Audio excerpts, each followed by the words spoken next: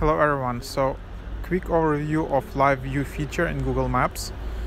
So this is a new feature, so basically it uses augmented reality to help find directions.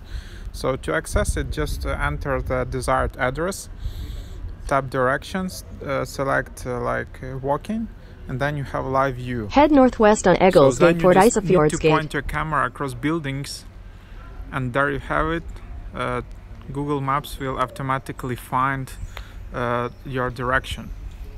So as you can see, it uses uses like AR, and it gets like data from uh, surrounding buildings to better uh, suppose your directions and find your location. Because in big cities, if uh, Google Maps only relies on GPS, it's not uh, super precise, so you can get lost. But with this feature, it's super easily to find exactly your location and to navigate better. So hope this helps. That's how it looks like.